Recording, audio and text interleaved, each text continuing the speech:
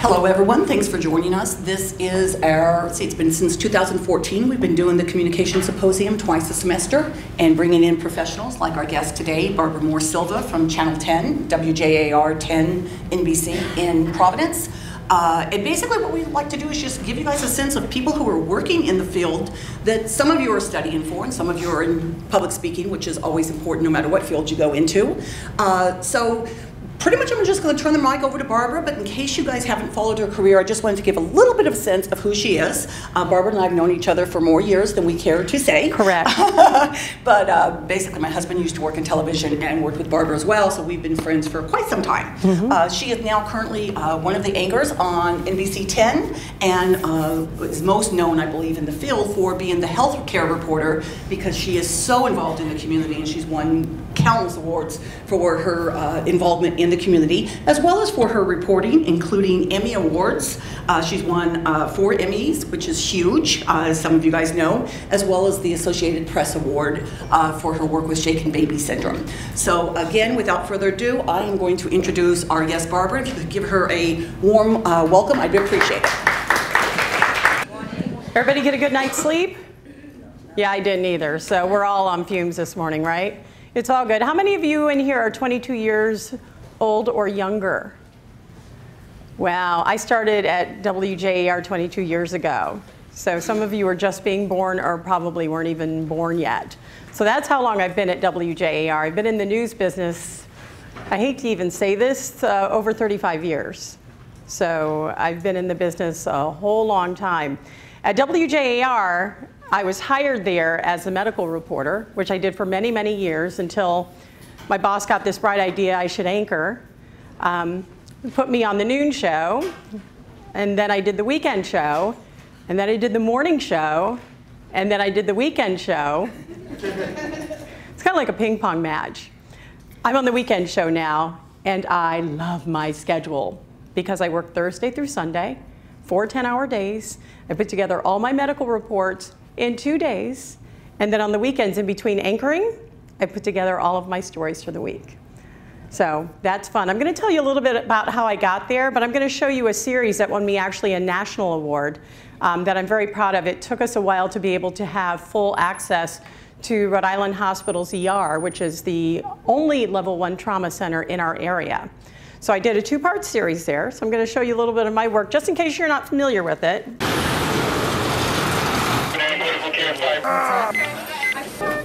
Stab wound to the abdomen. The operating room. Chest x-ray.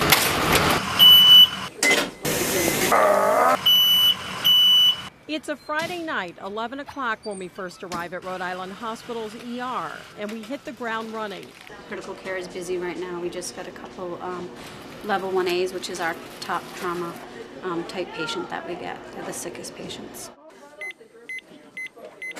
So uh, this gentleman was in a motorcycle crash earlier this evening. Motorcycle versus automobile. The police report indicates he was trapped under the car tire and that he was wearing a helmet. Thanks to the efforts of combined EMS and air transport, they actually um, saved his life. Stabilized at a Fall River hospital, then flown here. Squeeze my hand here. He remains in critical condition given the severity of his injuries. His hands are restrained so he doesn't pull his chest tube out. Squeeze my hand here. Social worker Jessica Hornig is working with his family. They're anxious, they're agitated, very nervous. You can get a little more air in his cuff too. Each of these rooms in the critical care unit of the ER is full. In some rooms there are two patients and the holding area is filling up. By this time, it's 12:45 a.m. There are accident victims, one of them severe enough to require dozens of stitches by a plastic surgeon at her bedside. There's an elderly woman with a suspected stroke. Well, her brain itself uh, looks like there's nothing acute going on. She A man is brought in so short of breath he is gasping for air, his blood pressure through the roof. He is not being very cooperative. There's a chance I'm going to need to put a tube in your throat and breathe for you. Is that okay with you? Uh. And there are a number of intoxicated patients, a few of them disruptive. Hey, you suck. One has to be tackled to the ground by at least four security guards. Go. What the f- you doing? wheeled to a room where he has to be restrained for his safety and that of other patients and hospital staff. Then there's Luis Rosa of Providence. He actually came in as a transfer from another hospital, um, complaining of throat pain and unable to open his mouth or swallow. We're gonna have our honeymoon in the hospital. The scans show this newlywed has what is known as a retropharyngeal abscess, an infection behind the throat that is spreading. And it looks like it's filled with um, gas and uh, some fluid.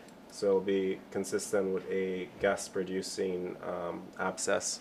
Luis is in good spirits, but all indications are his infection is severe. I haven't seen an infection in that location to that extent. Meantime, a stabbing victim from New Bedford arrives.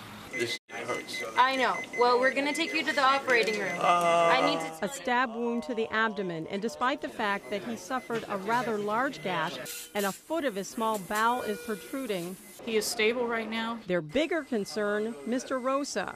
So now there's a team of doctors in on his case. He's already on IV antibiotics, but should he go into surgery right away, ahead of the stabbing victim? What concerned you most about Luis? Two things. One is always his airway. The second is a life-threatening condition, and in his case, this infection, if it turns out to be an infection, could have traveled to his heart rather easily. Tonight at 11, find out what happens to Luis and find out how the medical team prioritizes emergencies. That's tonight at 11 as we continue this rare look inside the ER. With this special Health Check 10 report, I'm Barbara Morse Silva, NBC 10 News. So what we wanted to do was give people an inside look at what goes in, you know, on in the ER, including the guy who was out of control. He was sitting right next to me for the longest time, just kind of like this. I got up and moved away, and all of a sudden he became Superman, and they had to tackle him to the ground. So a lot of scary stuff happens in the ER. That was a very special report that I did because we gave people a, a glimpse as to what goes on. So, you know, I'm that medical reporter, but let me tell you how I started. It was back before dirt was around. I helped form the earth. No. No. Um, when I got started, it was actually in 1980. And I was an intern. How many of you know the importance of doing internships at wherever you are, a TV station, a hospital, whatever you want to do? Internships are invaluable. I was living in Indianapolis, Indiana, and did an internship at a station called Wish TV, which I thought was kind of cool. I've worked at KOLD TV and Wish TV. Did an internship there, loved it so much, I did a second semester internship. Loved it so much that I begged them to let me do on air stuff.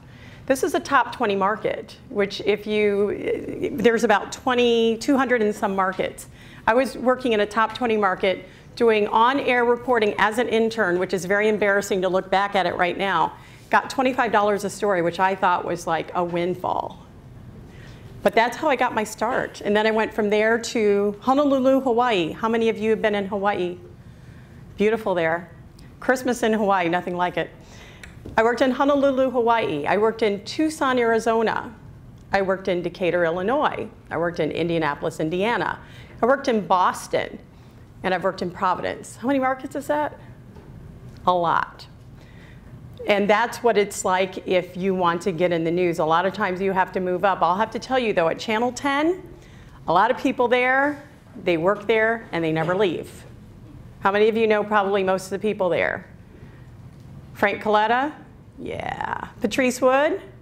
Yeah. Frank Carpano? And on and on and on. So I came to Channel 10 thinking I'd be there like a couple of years, 22 years ago, and ended up staying. How many of you guys are interested in getting into TV news? You're so smart. Because the news business is changing. How many of you are looking into getting into PR? How many of you are looking into getting into anything communications or media related? Okay, so a few of you. It's very important to, oh, how to put this. If you want to get into this business, you have to work really, really hard. Um, I think a lot of people think you're going to get into this business and it's going to be easy peasy. It just isn't. If you want to get into TV news, It used to be where we'd have two men crew. So I'd have a photographer, an audio person, and me. That's back in the dark ages when you needed all those people. Nowadays, in TV, we have what are called one man bands. Who knows what that is? What? It's basically one person does everything. Absolutely. It's one person who shoots their video, who edits their video, writes their video, and presents their video. So it's very all inclusive. Who, who wants to get into PR here? Let me tell you why PR is so important. If you're in public relations, you want coverage, right? So let me give you an insight if you want to get people to cover you. Peopleize your press releases and make sure, and this is a stickler for me, that you get your grammar right. I have gotten some press releases that I just ignore because they're just poorly written. Um, you want to peopleize them. You want to get people who want to come out and do it. So we have some people who want to do, what are some of the other things you guys want to do in here? Public speaking? Yeah, a little. Like, what do you want to do with public speaking?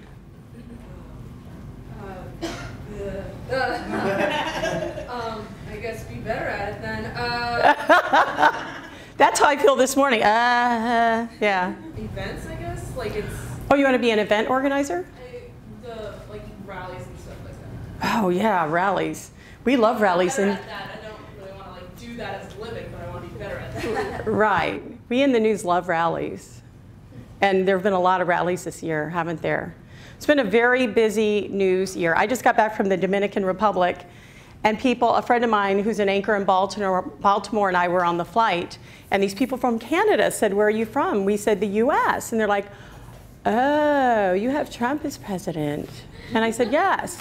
And they're like, What do you do? And we're like, We're the fake news.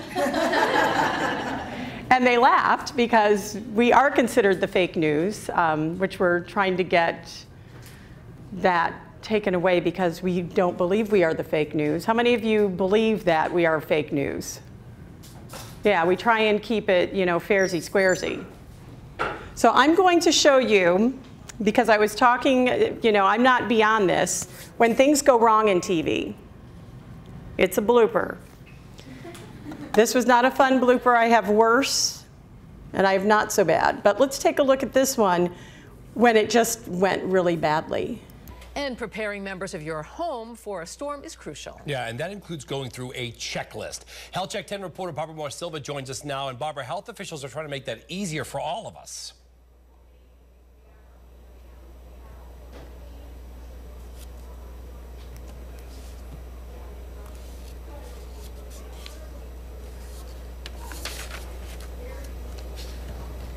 Let's take a look at it.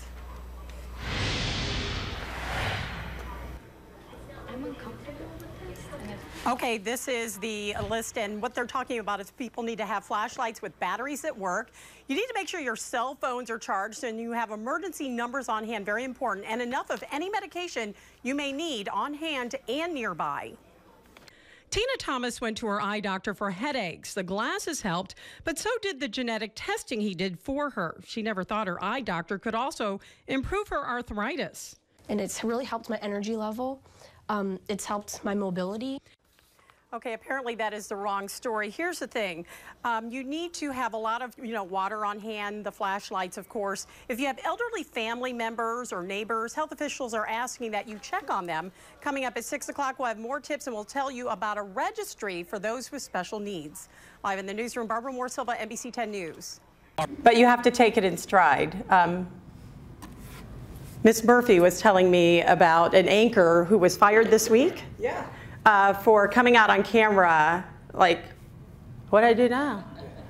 Got fired for that.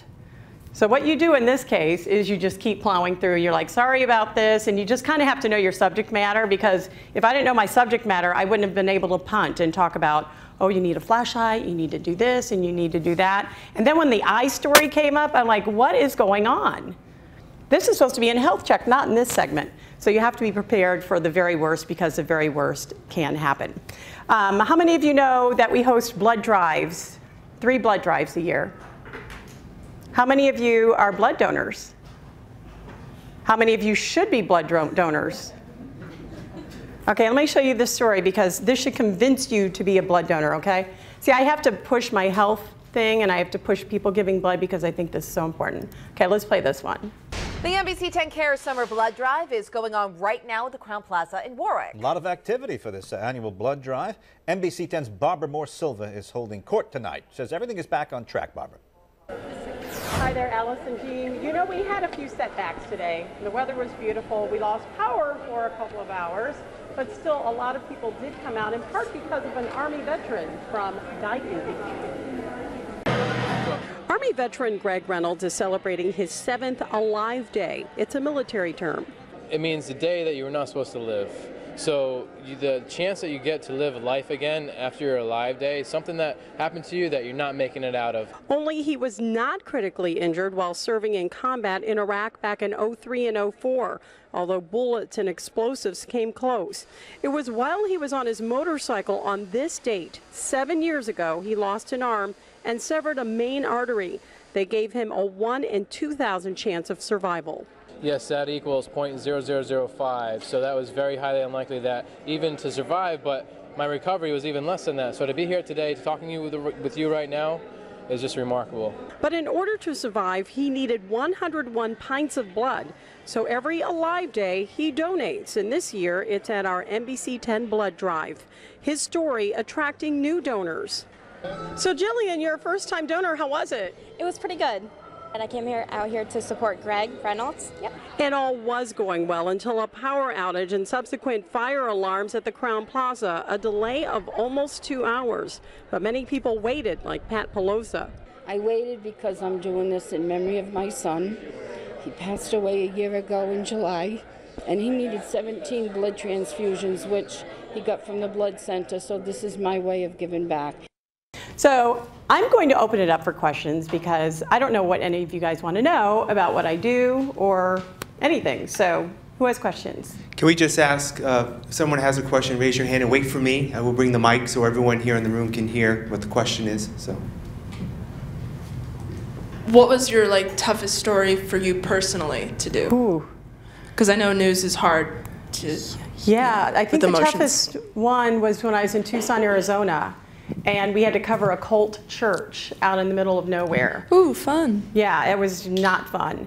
And we were across the highway from the church, and all of a sudden, my photographer Jamie was out there videotaping, and I'm in the driver's seat, and this woman comes knocking on my window and says, Get out of there, you know, wanted to do physical harm. Meantime, my photographer's still shooting, and all of a sudden they're coming across with like all kinds of like hammers and different things. I'm freaking out. I don't know what to do. So Jamie's like, do this. So I'm like driving the car real slow so he can try and catch up to the car. We're trying to get away from them chasing us. And finally, he was able to get in the car. I don't even know how we did this. And I just tore off. And then I became the story because all the other TV stations wanted to interview me. And now I realize how hard it is to be interviewed. It's easy to interview, but to be interviewed is really tough because I'm like, I, uh, then I, I hit the gas and um, I was really scared. You know, I, I mean, was, and then I'm sitting here saying, can I do it again? Can I do it again? because I didn't like what I was saying because I was freaking out. So I, I know when some of you get interviewed, you might be eh, I don't know what to say. but we're uh, Memorex, so we can do it over and over until you get it right. So that was probably the scariest incident because I thought I was going to die. And then I had to go to court and testify against them. So I had to have, you know, police, you know, making sure that they didn't come into my apartment at night. It was just a very scary time. Got through it, still here. And I don't know what happened to that cult. I don't want to know. Any other questions? Thank you. I don't know if you've already like said this, so I apologize, but how did you break into the industry? I broke into the industry as an intern. I went to Indiana University. Um, it's actually Indiana University, Purdue University at Indianapolis, so IUPUI. Um, and I was one of the first, the inaugural members of the telecommunications class. There were eight of us, and I was one of them. There's like a picture in the office at IUPUI. That's how old I am. So we were one of the inaugural people, so we had to do internships. I did an internship at a radio station. I did an internship at a newspaper, but it was the internship at the TV station that really captured my interest because I'm definitely ADHD. I love to just, you know, keep moving and doing different things. And the first thing they had me do was scanner patrol. You know what that is? Where you listen to the scanners. And after a while, it's like, I can't listen to the scanners anymore. It's like, you know, code red, code red, you know, accident here, let's get there. And, I'm, you know, after, but that was the best training ever because it, you know, on the weekends when we have a minimal crew, I'm way over here and our scanners are here, and I'm like, was that a fire? You know, just because you can just start picking it up. So I did my internship there, and I did another internship there, and then I conned them into paying me $25 a story. Um, and I'm glad I don't have those tapes here because um, I have big hair and like over enunciated and was not natural. And I learned in this business, you need to keep it real and be natural. You know, how you talk on TV, you know, you don't want to go to the Ted Baxter, you know, school of television and talk like this. Hello, everyone. I'm Barbara Morse Silva, and you're not.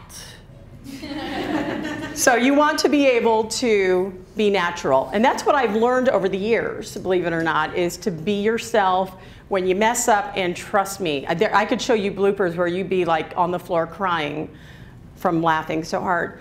Um, you just, you have to suck it up and just go on because we all, we all make mistakes in real life, right? We're talking and we're like, eh, eh, eh, eh, we can't get it out. Do people sit here and say, uh, I'm not talking to you now because you can't get it out? You know, you just, you, this is, you, you have to be yourself when you do this job and not zone out like the anchor who was apparently fired this week by, huh? She was in Australia. I looked up. Australia. You know, you know where you're like, I'm on TV. So yeah, that's how I got my start, the long version. Yeah. uh, What made you what made you go into this industry? Like when you were a child, did you have like a passion for like news? Did you have like very social person, very interactive? You know, what made you get into it in general? Did you watch the news a lot? yeah, I kind of had to. My parents did. Um, no, I originally wanted to be a ballet dancer, but I have two left feet. Seriously, I walk into things. And uh, seriously, then I wanted to be an actress. I was a theater major, and then I decided I wanted to eat. So then I did this. Anyone who's an aspiring actress would know what I'm talking about. They're just, you know, yeah, there you go. Just very few jobs, and the ones you might get in community theater, or if you're one in a gazillion and you make it on the big screen, you want to try and keep making it on the big screen. So I wanted to eat. So I, it was my internships that decided what I wanted to do. Because that's, I think that's why you do internships, is you can either decide, I'm not doing this because it's horrifying, or I'm doing this because I have a passion for doing this. And I quickly got grabbed into, snatched into this snarl of medianess, and still here, 35 years later, even though I'm only 35. I know, hard to believe. I think for everyone here, um, internship is, is a really great place to start, but once you're done with your internship, finding a job and actually accomplishing that, what are the best ways to go about that and some of the hardest things that you have to deal with? Finding a job is a job. And you have to realize when you're looking for a job, be ready for no, no, no, no, possibly, but no. Be ready for rejection after rejection. Some of you will not get a rejection letter. Some of you will be hired right off the bat. But most people get a no, no, no. So you need to have tenacity. You have to really want to do something. I was on my 50th no letter. That's back when they actually wrote letters and mailed them out. Um, that's actually when we put tapes in you know, envelopes and mailed those out. Um, I got so many rejection letters. And then I remember I moved from Indianapolis, where I lived, to California on a whim, met a guy, moved there. And I'm there working as an administrative assistant, secretary, um, at this office, and I get a call from Tucson, Arizona. I never got a no from them, never got anything from them. And the news director has me on the phone, and he says, I really like your tape. And I said, Oh, thank you. He goes, What are you doing now? Oh, I'm a secretary. And he hired me on the phone. which is weird. After like 50 rejection letters and then 50 I didn't hear from at all, he actually hired me on the phone. I went to work there, and that's kind of how I got started. You know, somebody took a chance on me after all of those rejection letters. And even after you get your first job, the rejections are still out there.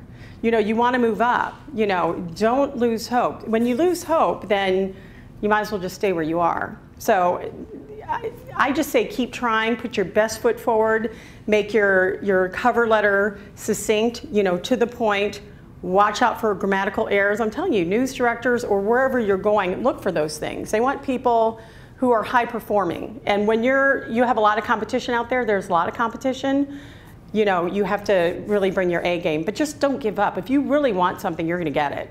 I really, really believe that. It might not be where you want it, but you'll get it, you get experience, and then you go on. So don't give up. Who, who got that message? Back there, you got the message, thanks. Hi, I actually have two questions. Mhm. The first question is, are we going on TV tonight or no? Because the camera. No. um, and the second question is, what are your plans for the future? What are my plans for the future? Oh God, I'm old as dirt. Um, I'm actually working on my third novel. So that's what I'd like to be as a novelist. I have, have I printed anything new? Have I tried to market them? No. But I'm working on my third novel. My first one is called The Love Basket, hmm, based on a true story of a woman who was abused. Um, my second story is Brunch and Football. It's intrigue and drama and trauma. Seven women, two gays get together every week and, and share recipes and trouble. And then the third one that I'm currently working on might be my favorite. It's called And That's Why I Color My Hair. And I play a TV news reporter. Hmm. So I'm, that's what I'd like to be when I grow up, is a, t, is a, is a novelist. So you don't want to stay in news? Well, I'll stay in a few more years. Yeah, I do want to stay in the news. I have, I, to me, I have the best job. I have the best job, the best hours, I, the best friends at work. I mean, we really are a dysfunctional family, but we're a family. You know, like RJ and I are always, you know, kidding, you know, we're married. that kind of thing. So, yeah.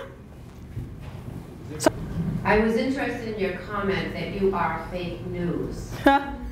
and I was wondering if you just said it as a joke. I did say it as a joke. And what? But it's not so much of a joke to our president, who thinks we are fake news. That's only one individual. Correct. So I say it as a joke.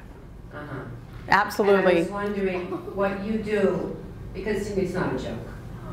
It's a sin. It is a sin. It's horrible. It's the, it's the destruction of our country. It. And I'm wondering you, as a news reporter, and the people that you work with, I realize you have to be respectful Mhm. And stay within the law. But what you do, rather, other than joke, to combat that image. I think we just try to do our job as fairly as we can. As a medical reporter, you know, I try to do, well, I do as much research as I can, and I also give the caveat that one, um, one treatment might work for one and not for another. In our general news department, our whole mantra is we're owned by Sinclair Broadcast, and their mantra is that you, you keep it fair, you have both sides. You have to have both sides. I don't see that on all networks, sadly. Some are skewed one way and some are skewed another way. Our mantra is we have to get both sides, or at least make that effort to get the other side and let people know that we did try to get that other side. So that's where we try to keep it real and real news. We've always been about real news, always been about real news. But you mentioned on air, I don't watch that much news, but and I don't really hear the news people address the issue by repeating that phrase, which I think is flawed. We would never say that on the air, ever, ever. So you just present both sides and let people make their own. That's exactly what we do. Now, do we get emails into the station calling us fake news? Absolutely. You're kidding. I, I swear to God. What do they use for evidence? They don't. There's never any evidence. Okay, there's one other question, if you don't mind. Um, when you went to the, you said a cult church, Yes. did you ask them if you could come to interview them? We were across the street. We were not on their property. No, but But you. We were, tr- we were trying to get them to come But- talk to us. The question was, did you tell them you were coming or ask for an interview? No. What was happening, let me, let me give you the backstory on this so you know why, why we were there. There were people. I'm not saying that's wrong. Right. There were people being held inside of their, that church against their will. I should have told you the backstory. So we were all there covering it. The- All, there was a line of media from Tucson and Phoenix covering this one story. So that is why we were there in the first place. We didn't know we would become part of the news story. So. Yeah, thank you very much, because I think that's part of the news' job, is to help further justice in the country. Absolutely. And, and I'm glad you asked for that clarification. And we always do try to get the other side. Um, I know sometimes it looks like we're, you know, they're being very pushy trying to, to, to get the other side, but that's oftentimes when people refuse to talk to us and we're just trying to be fair and get their side. And if they still, and if they still refuse to talk to us, there's not much we can do. How do you stay informed on the news and current events? How do I what? How do you stay how do you stay informed on the news and current events? I read a lot and I watch TV a lot. Um, I'm always online checking to see what's going on. We have a news feed at work that gives us all the breaking news. Um, when there was the school shooting in San Bernardino yesterday, um, you know, anytime there the Sweden attack, um, just all of those come over on my. I carry my cell phone with me all the time. Those come over as breaking news. So as soon as I see something like that um, and I'm off, I will go to the television set or I'll Google to get more information because it's always being updated through AP or through television, and I'll switch around to different networks just to try to get different angles on it. But that's how we stay informed. I mean, do we know everything? No. You know, there are things, uh, you know, I was in the Dominican Republic, came back, knew nothing about what was going on, and found out, you know, what went on um, in Syria when I got back. I was just appalled, um, but had no idea that had gone on. We got back um, the night that President Trump decided to bomb there. So we don't always know. We're not always in communication with what's going on, but we try to stay up to date best, as best we can. I know that in the news you were talking about like being like fair, always like having both sides. Like when you started like doing like your stories and stuff, was it hard to be like objective, or did that take time to like like? Because I'm sure that you have your own opinion about like. We all have biases. Yeah. Like was it hard? Every single person in this room has a bias, right? Whether you like to admit it or not. Um, no, you know how we keep it real and honest in the newsroom is we have someone read our script. And I've had this happen where they read the script and they're like, you forgot this, because I get so intense in writing my story that sometimes I forget, oh yeah, there's this, or they need to know this. And they're like, they'll ask questions. I'm like, oh God, and this the most obvious thing I should have had in there. So I always tell people, always have another set of eyes reading what you write so they can ask questions. I'll read some other people's scripts and I ask a question, you know, why didn't he do that? And then they answer it and put it in your script. So that's how we make sure that things are fair. Um, if there's something that is really touchy, we get our lawyers involved. We do not want a lawsuit. We hate lawsuits. Um, so we get our attorneys involved when there's something um, that's a bit controversial. So we try to cover all bases and make sure we don't get those lawsuits. And has there sorry, um, has there been like um, a, like a topic or something like that that you didn't want to report on because you felt like so strongly about like the opposite view or something like that? Or? Nothing where I said I wasn't going to cover it. There are a lot of things I do, do have a strong viewpoint on, but you just have to go in there and say, and that's when I think you do a better job of getting both sides because you know where your heart is and what you think. So you want to make sure you get that other side so you don't have that bias there. And we do play off each other in the newsroom. We ask, you know, what do you think about this? Is does this make me does this make the story look biased? Does this, you know, we kind of bounce things off of other people in the newsroom because we want to make sure we get the best product on the air.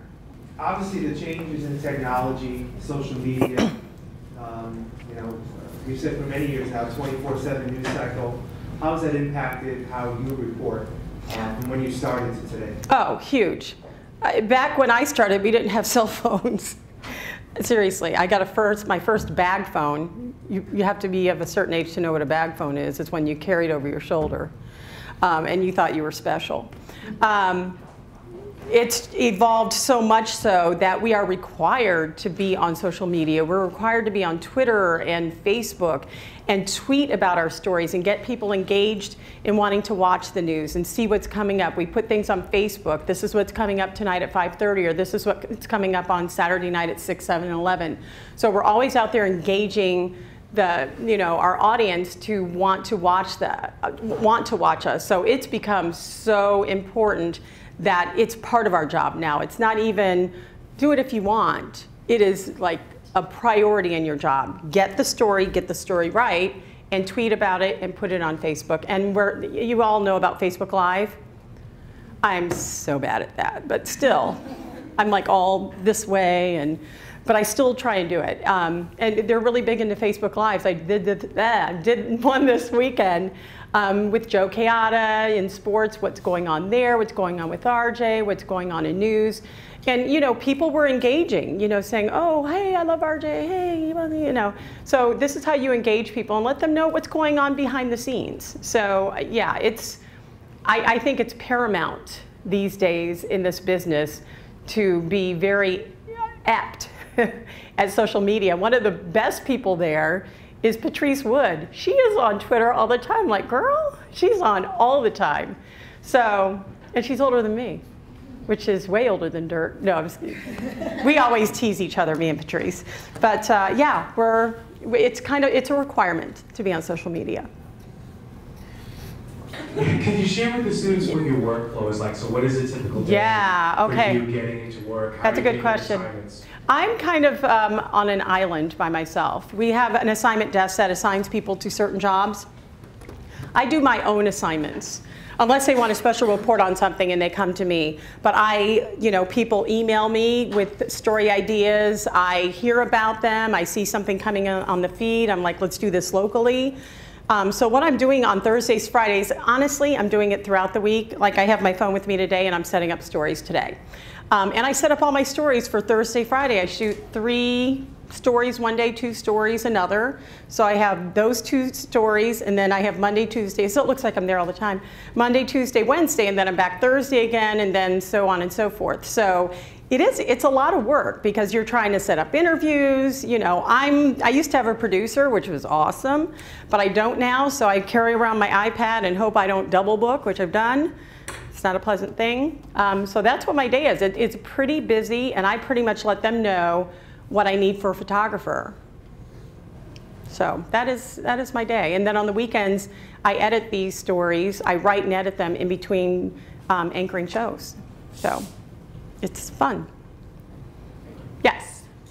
First of all, I'd like to thank you for taking time from your busy schedule to come to Bristol Community College sure. today and talk to our students one of the things that I try to stress in my public speaking class is that public speaking is so applicable through so many different types of disciplines. My question to you is, I noticed that during the emergency room video, you interviewed a lot of different people, and the public is very sensitive about confidentiality right now. How were you able to subvert the HIPAA laws and confidentiality within a medical setting? And how much work was involved to actually produce that segment and overcome all of the hospital rules and the laws with the background in producing that particular video? We didn't bypass any HIPAA laws whatsoever. The people you actually saw on the air signed off on it. The people, a lot of them you saw them blurred, they didn't sign off on it. So every, and this went through a lot of hoops. I had to edit it, we had to send it to the hospital.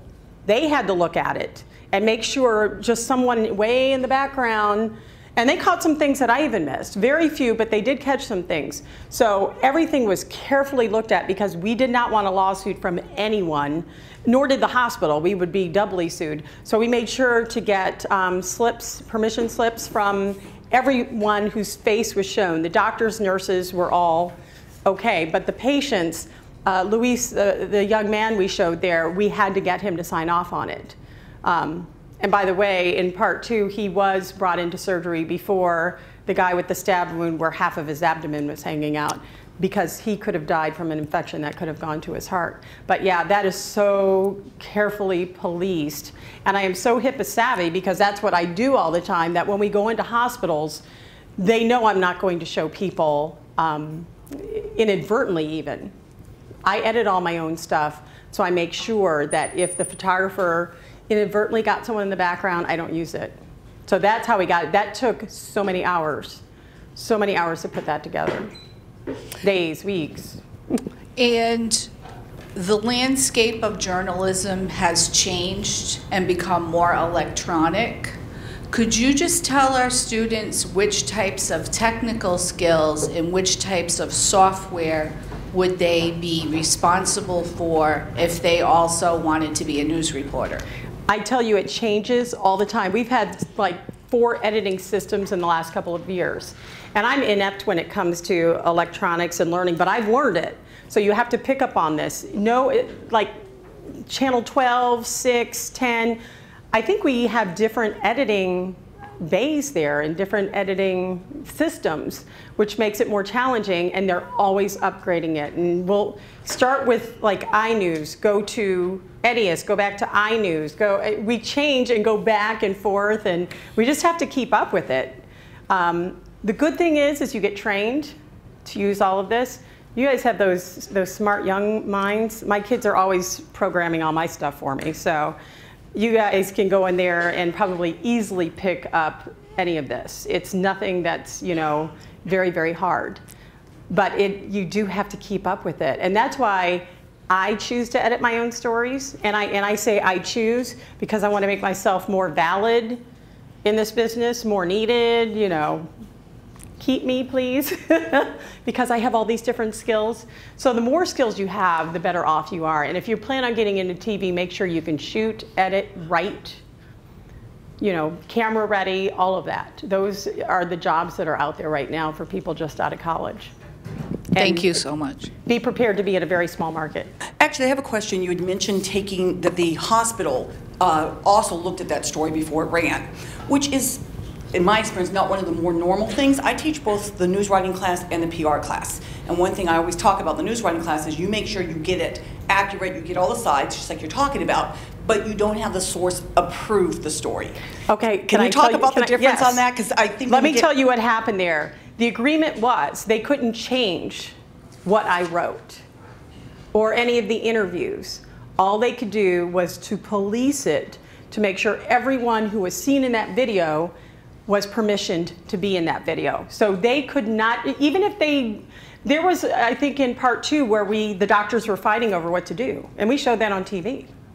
They, they, I shouldn't say fighting, they disagreed on what to do. And we made that clear that they weren't on the same page and finally they came together kumbaya and, you know, took Luis in. So they could not change that, even though they probably did not want that look out there.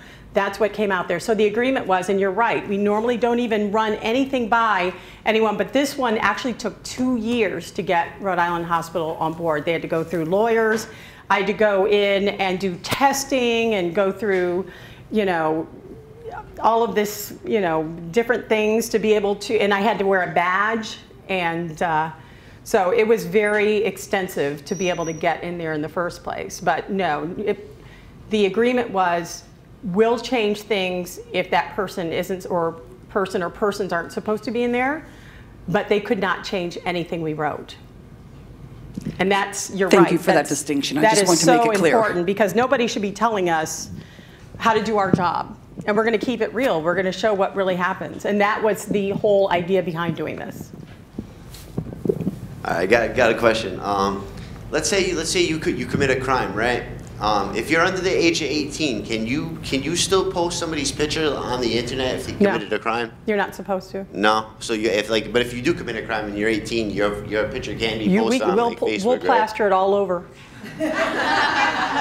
it's, it's, it's just how it is. You're not supposed to um, Yeah. put anyone who's a juvenile, their picture up, unless the court says you can, you know, it's that big enough of a case. If you're 18 or over, we're, we're going to own you.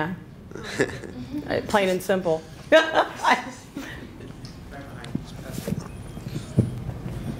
Have you ever been put in the position where someone did try to file a lawsuit against, like any of the stories that you wrote, that I wrote? No. or that anybody in your well, news yeah, anchor? we've had lawsuits. Oh, all right.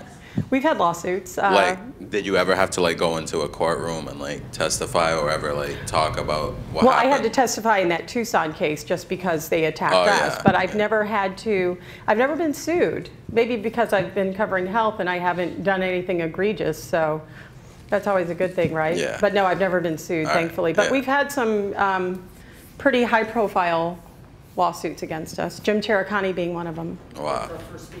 Or one of our Yeah. He's, it, his is a riveting tale and he's just amazing. He's amazing. All right, yeah. All hail to Jim.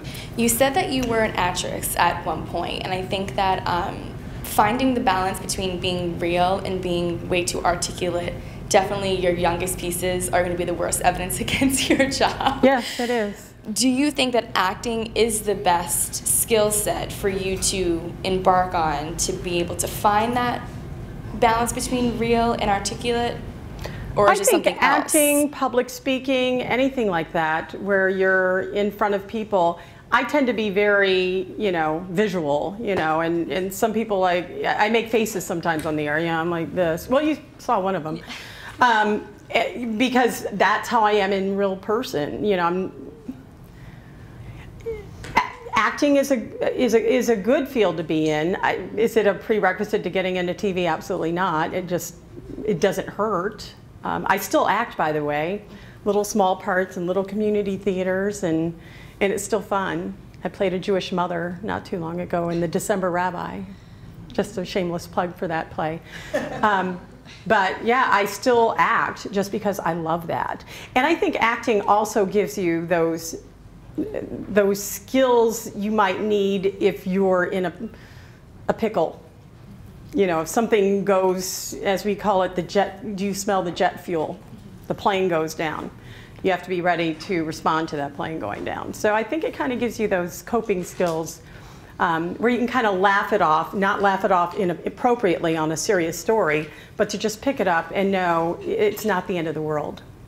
Because as you saw in that story, I could have crumbled, or somebody new might have been out there and said, "Why is this story coming up in the middle? And what do I do?" And and then it comes back, and you're like, "Okay." that would have been the younger Barbara. I've done that before. I call it deer in the headlights. So sitting here, okay, back to you. Don't know what I'm doing. Bye. So we, you grow. You grow whether you do PR, whether you do whatever you do in life, you grow in that field. If you don't, then you probably shouldn't be in that field. So I, one of these days, I'm going to dig up some of my old stuff. My hair was like this, and uh, I don't, I can't explain it. It was just, yeah, early stuff. So Barbara, you made some refer- a reference Jim Taricani, and it was funny because I was going to bring that up. He was one of our speakers here at the Communication Symposium, and at that time he talked about the threat to journalism and the value of journalism in the democracy. And it's kind of ironic that here we are now. He was talking about the the uh, federal reporter shield law at that time Mhm. that you couldn't be forced to testify and give up confidential sources. Your sources, yeah. We talk here in the college a lot about information literacy, about students being able to not just take one side of a story, but really seek others. With what's going on in these world in the world right now, I kind of like your perspective on how do we keep reporting real in a democracy, and what are some of the threats to that right now? I, I really think we need to be more cohesive as journalists. I don't think we're as cohesive as we should be. Um, journalists have been kicked out of press conferences. CNN was kicked out. Yet other people stay in those press conferences. I don't know if I would want to stay if you're kicking out one of my colleagues for whatever reason, whatever reason you want to come up with. I think we need to do a better job of sticking together. I don't think we're doing that right now. I think, I think journalists, and, and I, I don't want to word this incorrectly, but I, I think now more than ever we need to grow more of a backbone when we cover stories and, and be tenacious and not be afraid of asking questions, not back down. A lot of journalists are backing down now, um, and, and we can't do that. So that's kind of the short answer to that. I don't want to get too involved with that because, you know, that could be controversial in and of itself. But it is certainly part of the issue. It is part of the issue. We kind of back down and we don't we don't question any authority when a certain person or persons are kicked out of a press conference. That should never happen. Should never happen. It's freedom of speech, freedom of the press, and sadly we're not seeing enough of it. Any other questions?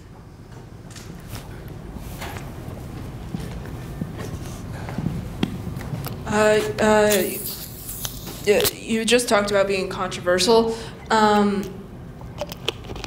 sometimes I think that stories should be a little controversial in order for you to get, you know, in order to be, you know, to think about it. Um, have you ever um, sort of been controversial just so that people should think about it? Uh, personally, not so much, but in our newsroom, absolutely. You have to be controversial. You have to be able to report on those difficult stories. A lot of them are lawyered. We have to be lawyered these days because everyone wants to file a lawsuit. Everyone wants to file a lawsuit, especially if you have deep pockets.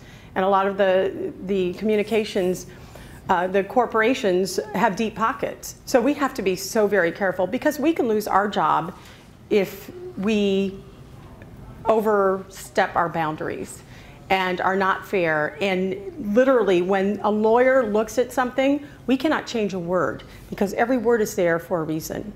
So we do controversial stories at Channel 10 all the time, but we make sure, you know, not to say we haven't been sued, but we try to make sure that our T's are crossed, our I's are dotted, um, and it's lawyered. So, yes.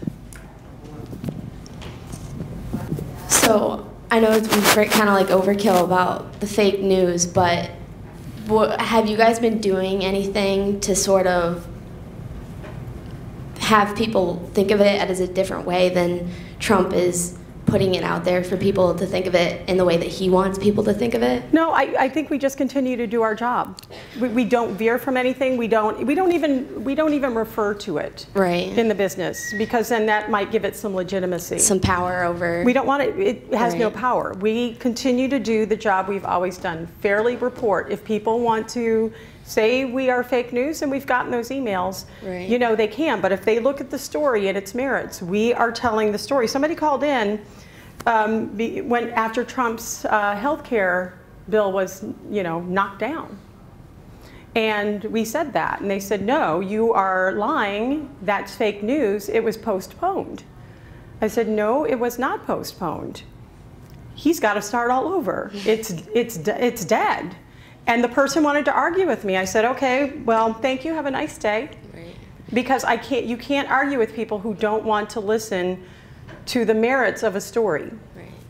I wonder what would happen if like you just you kind of like would take a stand against it and just not report it. Like, what would he say then if you just didn't give him the mind like the time of day? Like, okay, we're fake. You we're not gonna... not report any news? No, I don't mean like any news. Just involving what he would say is fake. Like, okay, if you think it's fake, we're just not gonna. Well, we won't give you the time of day to make you feel, give you the power to to say we're fake. You know. But there's always going to be someone who's going to report on it, Right. and then you lost out on reporting on it. It's, you know, the competition thing. Yeah. Um, so you kind of have to report on everything. Right. You know, like the whole controversy over were there more people at his inauguration than Obama's?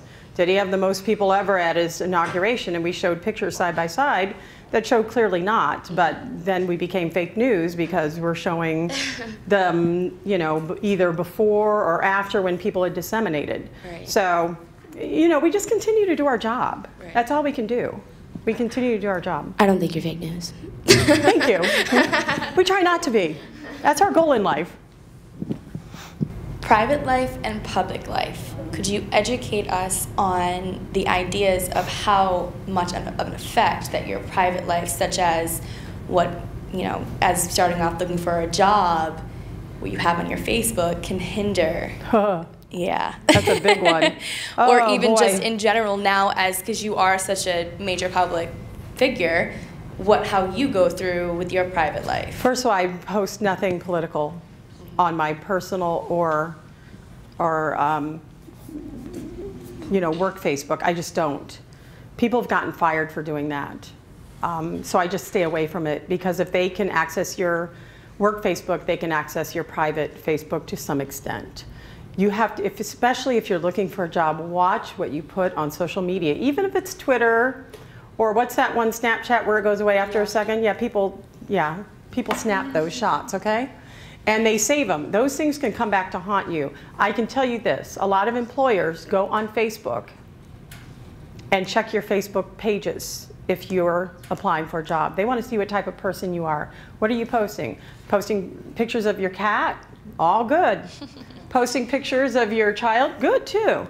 Posting anti-Trump stuff or anti-Clinton stuff or anti or protest stuff? Not good. They don't want any of that controversy. People in this industry have gotten fired for things they thought were benign on Facebook.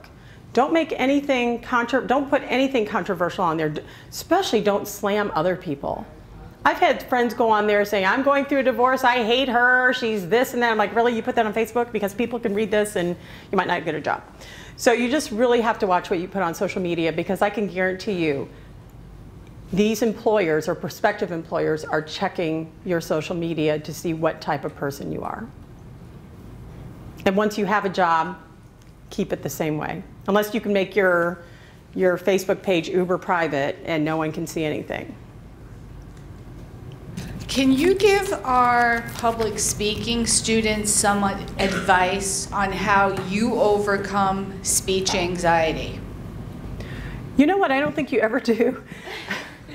I'm a theater major, and that's what always fuels me to do better is having not anxiety, but that, you know, anticipation. Ooh, I've got to get up and speak.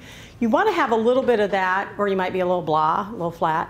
Um, but you know, I think the more you do it, and also when I was in college, we taped ourselves public speaking, like you're taping me now.